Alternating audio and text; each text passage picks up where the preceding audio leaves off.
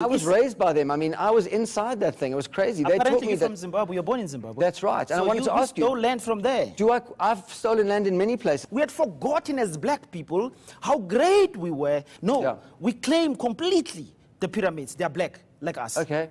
Okay. I, look, I'm not a huge fan of the pyramids. I think uh, it's a monument to slavery, which I don't think is ideal. No, but of- I I, mean- think we shouldn't really teach our children that that's a wonder of the world. because you are ignorant about the actual.